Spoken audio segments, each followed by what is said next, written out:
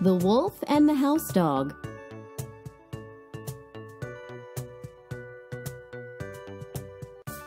Once there was a wolf who was starving.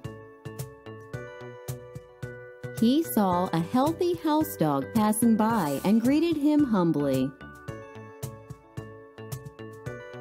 The house dog saw the wolf's sad condition. He asked the wolf to accompany him to his master so that he can get some food. The wolf felt very lucky and immediately agreed. Suddenly, the wolf noticed that the hair on the dog's neck was worn and the skin was chafed. What is this? asked the wolf, pointing at the dog's neck. Oh, it's nothing, said the dog. This is where the collar is put on to keep me chained up. Chained? Then goodbye to you, Master Dog, said the wolf and ran away into the woods.